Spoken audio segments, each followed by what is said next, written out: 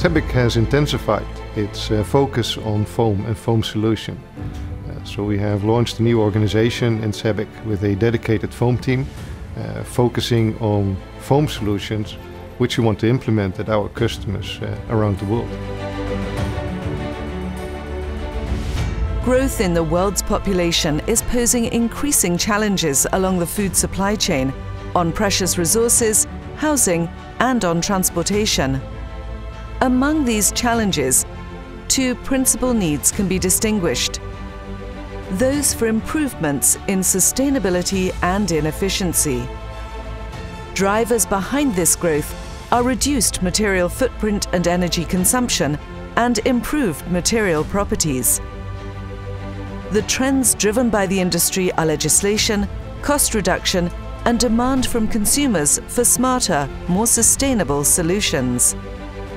So these solutions are based on lightweighting. Um, in the past, lightweighting was always related to downgauging. Uh, but we believe that the future of downgauging lies with foaming. Whether these solutions are being used in the packaging industry or in automotive or building construction or consumer goods, we want to move the solid solution into uh, foam structures.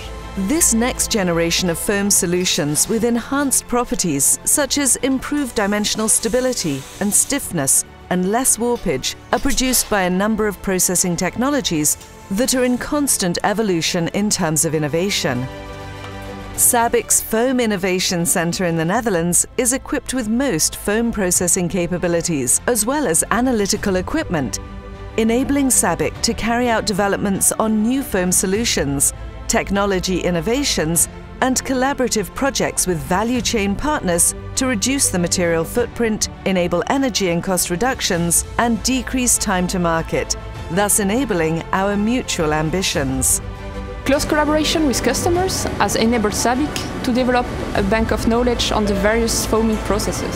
So SABIC developed a dedicated portfolio, diverse, that is applicable to almost all end applications. Well, looking to the future, I think SABIC is creating more new state-of-the-art solutions. Uh, this enables foam producers and converters to make even better foam products and uh, foam materials, and also on a more cost-effective way. What I think is important and unique in the industry is that we start working together with customers to find solutions for their unmet needs in the market. So that's what we call at SABIC chemistry that matters.